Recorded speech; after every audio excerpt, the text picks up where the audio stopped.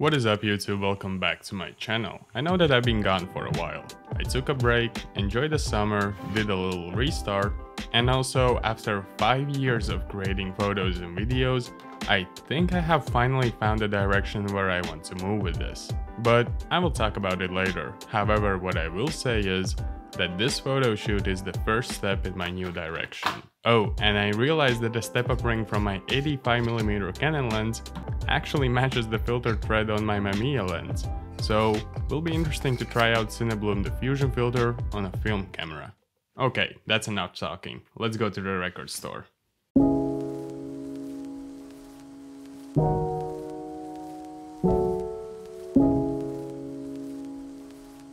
Since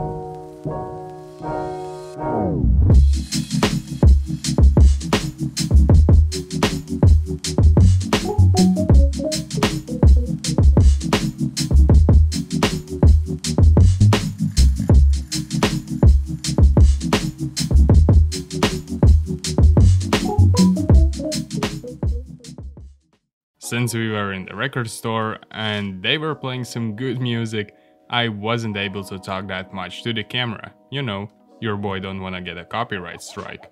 So I will do a voiceover and talk about the thought process and a lot of other cool things that you might find helpful. I took the first shot with a diffusion filter. Since it was the first shot, it got kinda burned. Or as Bob Ross would say, it was a happy accident. And then I took the second shot without the filter. You can definitely see that it has more contrast to it and the one with the diffusion filter looks a bit flatter with softer highlights. I guess for my taste, I like the one with the filter because I like soft dreamy look to my photos and that will probably be my go-to combo in the future. Let me know what you think. I wanted to give the photos a slight touch that would make the photos stand out and make them less casual. That's where this small light came in handy. Ever since I got it, it's been living in my backpack rent-free. I absolutely love it.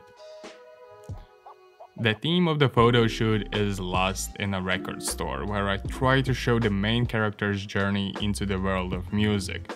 So this mystery shot with opening the red glowing box with records in it felt very suitable. Throughout the photo shoot, I tried to reflect the feeling of musical discovery and getting lost in the music.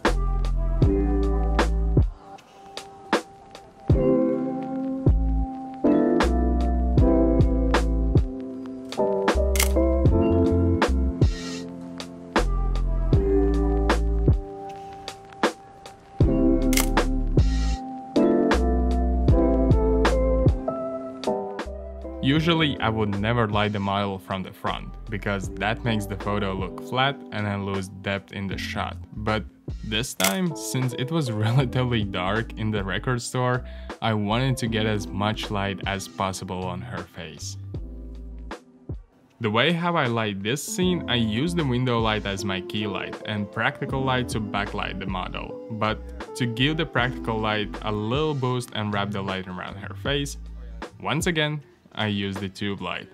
The light on her cheek looks natural, like it's coming from the lamp next to her, when in reality, you wouldn't see that golden highlight on her cheek because the lamp was actually behind her.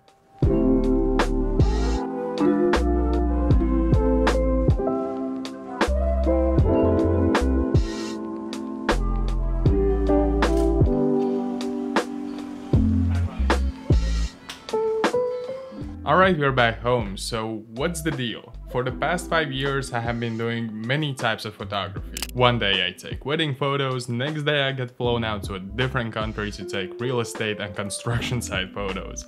And few days later I would take portraits, all in the same week. In the middle of that there is food photography, concerts, events, sports and so on pretty much all over the place, both in photography and video creating. So at the end of the day, I am everywhere and nowhere at the same time because I haven't established my niche. One of the reasons why it has took me so long is because I started my creative career back in my home country and then let a bit less than three years ago I moved to the Netherlands and I needed to start everything all over again because nobody knew me here. So I took all the jobs I possibly could. Frankly, it's been very tiring and demotivating because I also did a lot of jobs that didn't bring me any joy whatsoever. So on my time off, I started to think and plan what could I change or in which scenario I would feel happy.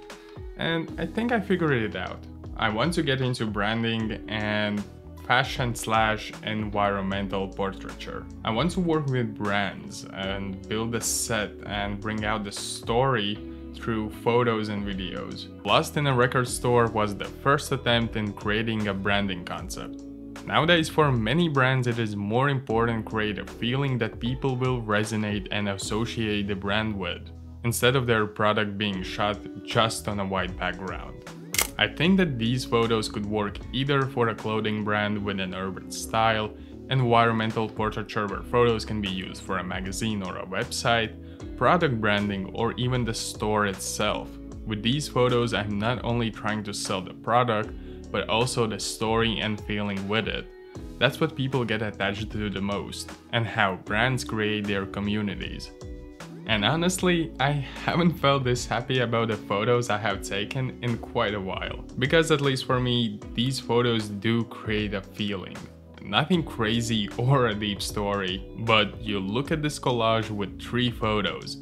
First she picks up a vinyl, then she puts on the headphones, and in the last photo you can feel that she's enjoying the music. Looking at this image makes me want to go to the record store and listen to the music myself. So that is the plan. Eventually, I want to reach the point where a brand reaches out to me and says, hey, this is our product, this is our budget, and this is our message. So what is your vision and what can you offer? And I want to be the guy who answers these questions and delivers the result. But to reach this point, I have to build a strong portfolio and learn a lot of new things. But I am ready to do that. In the future, you will see more content like this, maybe not very often because one, I want to spend my time to make it as good as I can, and secondly, well, it ain't gonna be cheap. I have some cool ideas, but travel costs and renting spaces will be a hit to my budget, so yeah.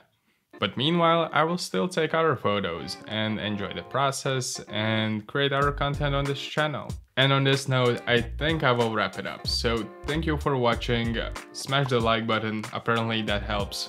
And uh, make sure to subscribe if you haven't already, and keep creating buddy.